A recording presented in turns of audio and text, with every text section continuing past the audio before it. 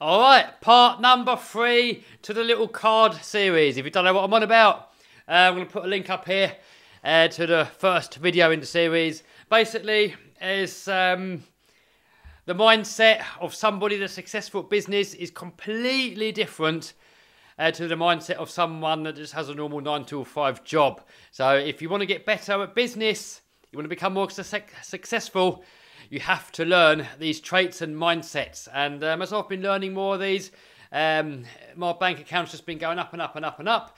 And as you learn more of these, the same can happen to you too. So um, one good way to memorize some of this stuff is to, is, is to write it down. So I like to write it on these blank playing cards. If I ever read something or hear something, uh, I think it sounds like a good idea, I'll write it down.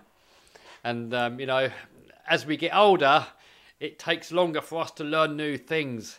So, you know, sometimes you have to read the same thing over and over and over again uh, just for it to sink in. So, this is one little way that works for me. Uh, so, I'm going to go through with these. Hopefully, this is going to be the last part. We're going to try and get through these as quick as possible. Um, if not, maybe there's going to be another part after that. But anyway, enough waffling. Uh, so, we've done that one in the last one. Uh, there is no right and wrong. There's no black or white. So, um, what that means is that you always have to be open that you could be wrong on everything. Those that are really, really opinionated and have really strong opinions and are really stuck in their way, uh, those are the ones that will never progress. They're going to be stuck at whatever level they're at and they're going to stay there. Because remember, if you're earning, say, I don't know, 50 grand a year, and you've got that know it all mentality, you think you know it all, uh, you're going to stay there. You're never, you're never going to get out of it. You're never going to expand to get anywhere else. So the reason you're stuck at that 50, 50 grand a year level is because there's stuff that you don't know and stuff that you do know you might you might have the wrong opinion of, of it. So you must always be open that you could be wrong on absolutely everything. Doesn't matter what aspect in life it is, doesn't matter what. Even if you think you're 100% right, you always have to be open and think to yourself there could be that 1% chance that I'm wrong. Look at all the facts, put everything together, and base your opinion on that, and then realize that everything that you know is just an opinion, really. And, um, you know, you could always be wrong. If you think education is expensive, try ignorance. So, you know, sometimes if you try and figure stuff out for yourself, it can take you years and years and years and years and years when you could just learn from somebody that's made that same mistake before or somebody that's learnt it before. You know, for example, stuff that's written in a book. You know, if you try and learn that stuff by just by yourself, by your own experience, it can take a lifetime. When you could just pick up a book, read it, and just download all the information from somebody else into your head. So, um, you know, sometimes education can cost money, like schools, universities, colleges, buying online courses. But, um, you know, trying to figure this stuff out for yourself can end up costing you a lot, lot more. Not even just in money, but in time as well. Uh, learn by osmosis, the law of 33%. So just to, I'm just going to go over that quickly. You could write a whole, whole book about this. But basically, learning by osmosis is learning by kind of being in the environment and naturally picking up these things. You know, not not trying to to learn, not trying to force yourself to learn. You know, trying to force yourself to learn, and it, it kind of it's more difficult to absorb information. But by putting yourself into that position and just naturally over time learning stuff uh, is the best way that it's going to download itself into your brain. For example, when like an animal, like a bird, teaches like its little baby birds how to fly the baby birds, they're just learning it as they go along. Like when you and I, we're learning to walk. You know, you're just trying a little bit. You see, you see parents and you see other people walking, and you try it, and you just pick it up without even thinking about it. The same when you're learning to speak. You know, you, you think you, whatever language it is that you're speaking now, you can speak it fluently without even thinking about it and you never even gave it any thought. You just learnt it because you learnt it through osmosis. But then think about this: you, you, go to school and you try and learn, say, French, and it's so much harder. It's so much more difficult when you try and learn it in that way. So by learning it by osmosis, just by surrounding yourself with people that are doing what you want to do, that is the best way to learn. And it's not always practical. You know, if you want to learn from millionaires, you, um, you know, it's not always practical that you can spend your life around millionaires. So, you know, sometimes books uh, watching videos, stuff like that is like the next best thing. People with a closed mind have an open mouth. Often, when people are really, really self opinionated, uh, they shout the loudest, but their mind is just closed.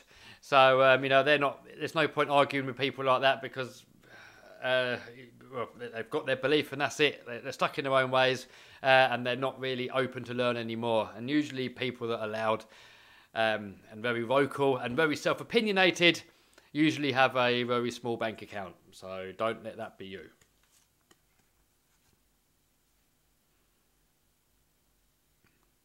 Don't try to teach ignorant people. They have to learn the hard way. Uh, yes, uh, I've learned that myself. You know, if, if you're trying to teach people that don't want to know, there's no getting through to them. It's like when you try and recommend somebody to set up their own business and they don't want to listen, there's no getting through to them. So uh, you know, they've got to find it out the hard way. Let them try whatever it is that, they, that they're doing, and if it doesn't work, then they've got to kind of figure out the hard way. So if they're ignorant, if you're trying to give them advice and they're not listening, just it's best just to let them get on with it. It's no point falling out with people. A and B students work for C students. That is so true. When you see all the kids at school that are doing really well and they get all the A grades, uh, they end up working for people that have set up businesses that have usually got worse grades. How well you do at school is not an indication of how well you're going to do in business. A lot of the time, uh, those that do worst at school end up running the most successful businesses. So just because somebody gets all the A grades in school does not mean that they're the one that's going to have the successful life. Not always, sometimes. It doesn't matter if you fall, it's whether you get up and that was Michael Jordan that said that. So you know, when you're learning new things, when you're doing business or anything, you know, doing sports or whatever, you know, you're going to fail. You're going to do things wrong. Uh, it doesn't matter when you get it wrong. It's whether you get up or not. That, that's what counts. So you know, I don't even call it failing. You know, I'll just call it experimentation. I call it learning. So you try things, it doesn't work, you try something else. It's just experimentation, and and I'll just see it as feedback. So you know, as long as you don't make the same mistake over and over and over again, uh, I don't call it a mistake. I'll just call it learning. Sometimes you win, sometimes you learn. That's that's the that's the way I look at it. What comes easy won't last, and what lasts won't come easy. So if you're looking for that get rich quick scheme, make a ton of cash with just hitting a couple of buttons, it's it's not going to happen. You know, and if you want to build a proper business, uh, you want to be successful, you have to uh, create a product or a service of value to others that other people are going to want to buy from you. And you know, if something's too easy, it means too many people can do it. There's going to be too much competition, and nobody's going to make any money. It's normally easier. The harder something is, it's easier to make money at it. If something's too easy, it's almost impossible to make any money at it. Uh, Bruce Lee said, if you spend too much time thinking about a thing, you'll never get it done. Yep, para- paralysis, but over analysis. You, you keep thinking about something too much. Oh, I think I might do it. And you look at every little aspect and you end up paralyzing yourself and you never do it. So sometimes, if you get a good idea or you think it's a good idea, just give it a go. Otherwise, you could procrastinate for the rest of your life, never get it done, and just miss out on your hopes and dreams. Uh, so yeah, so this is one. This is this is my saying. Sometimes we win, sometimes we learn. We only fail when we quit, and quitting is a choice. So uh, there you go. We pretty much said that a minute ago, anyway. Grind equals life. If you give up on the grind, you give up on life. So when you want to be successful, you got to keep grinding. You got to keep working. You got to keep going at it. It's it's not easy. Uh, but it can be fun, you know. So, like building a successful YouTube channel, for example, it's great fun, but it's a lot of work. I put in many hours, sometimes over 12 hours a day, every single day, 24 7. So, if you want to do well at something, you're going to have to grind at it. Nothing worth having comes easy. Uh, I think we've had that one before. I think we're coming round here now. Uh, give a man a fish, feed him for a day. Yeah. Uh, some of these are duplicates. The thing about smart people is that they seem crazy to dumb people. That was a saying by Stephen Hawking. So, you know, a lot of the time, if you've got a great idea, people are going to try and put you down and put you off. Uh, sometimes it's just, they're dumb and they just can't see your dream. And then, in fact, it can be you that could turn that dream into a reality. Uh, Albert Einstein said, Insanity is doing the same thing over and over again and expecting a different result. So, you know, with people that want to make a load of money, but they never try anything new, they just keep doing the same stuff over and over and over again. they're never going to succeed. If you want a different result, you have to put in a different input. So doing the same thing all over again, you're just going to get the same result, and yeah, that's insane. You can't do the same thing and, and expect a different result. You can't judge a fish by its ability to climb a tree. So that, that is so true when it comes to school. You know, when I went to school, uh, some of the teachers used to say that I'm a, I'm a bit of a dumbass, maybe not in those words. And I got, you know, like the A students, they sort of look down on you and they sort of look down on you and think that you're like, you're stupid because you're not doing well in school. But just because, you know, I'm not good at spelling. So, you know, I get spellings wrong.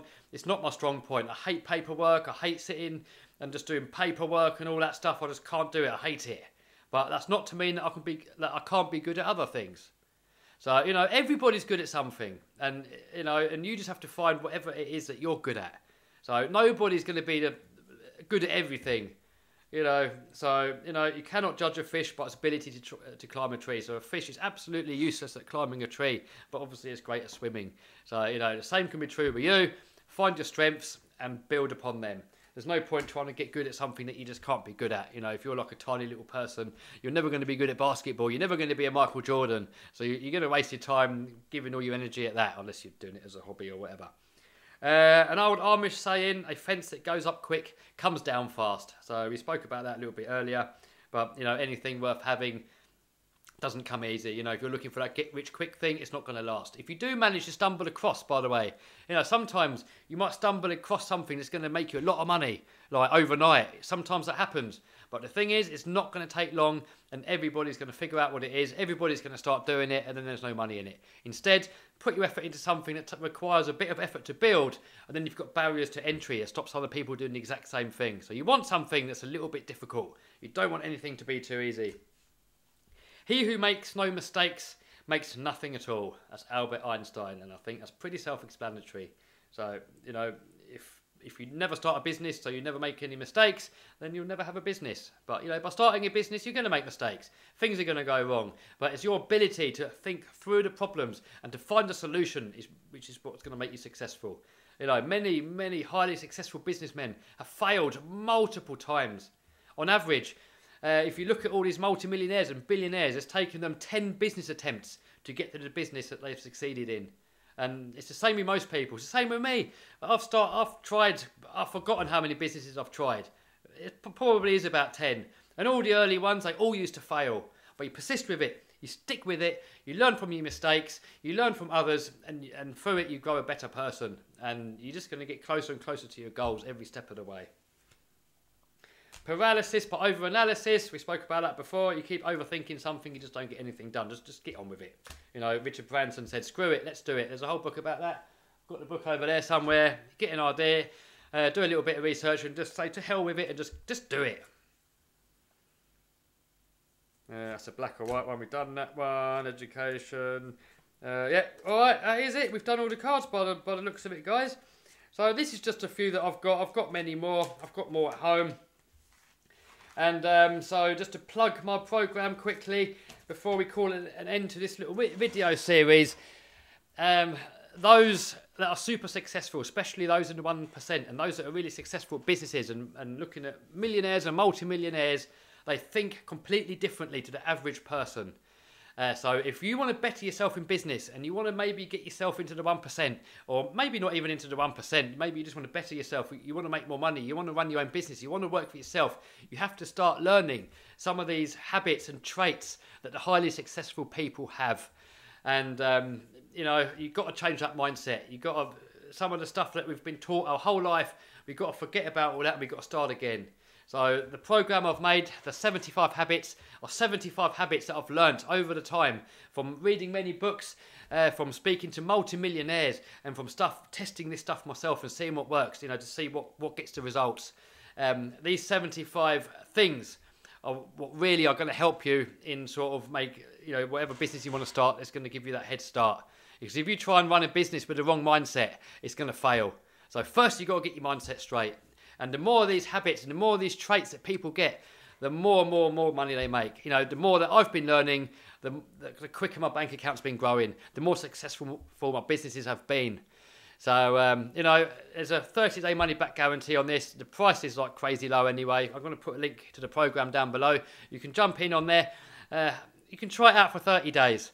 And um, basically, it's all in video format. All you got to do, watch one video a day. That's all you got to do. You can watch more if you like. And um, can just make some notes and then go over, over the notes. You know, getting these sort of cards like this, perfect. Uh, you know, each each um, each video in that program that I've made, you can get one takeaway from it and you can write it down, make a note, and you can just go over these every single day. And eventually, it's just going to burn itself into your brain and you're just going to start thinking more along the lines of like somebody that's more successful at business you know somebody maybe in the 1% maybe even millionaires so um, you know this is all stuff that you can learn and it's all stuff that is probably stuff that you've never even thought of and maybe you're the complete opposite and without knowing these traits and habits it's going to be almost impossible for you to succeed at any business you know be it ebay selling on eBay, making YouTube videos, or, or any other business, physical business, product or service based businesses. You know, if you've got the wrong mindset, it's not going to work. So you have to get your mindset right first. So, you know, give it a go. Uh, 30 day refund guarantee. You've got nothing to lose. If if you decide you don't want it, one quick email to me, and you're going to get emailed if you sign up on this program. You'll get the, the confirmation email you get. You can just email me back to that address. And then also in the program, the email is in there as well, clearly. So one email to say, Kev, it's not for me. I want a refund, and I'll just refund you straight away as long as it's within the 30 days. You can't lose. You can't. You, you, you, you can't lose. You know, you, you can you can have 30 days of, of getting somebody's mindset stuff into your head completely free. And you know, the only one here that, that can lose is really is really me because I'm refunding you and you've, you've got my stuff for nothing. But you know, I've got trust in people. I've got trust in the program. People that are in on the program, they love it. Um, I've I think I've had like one or two refunds since I've had this program out, and I've had it out for a few months now. So people, for the most part, really love this program. It's really helping people boost their businesses, and, and you've got nothing to lose by trying it out. So, guys, build yourself a better future, and I will see you on the inside if if you want to build yourself a better future.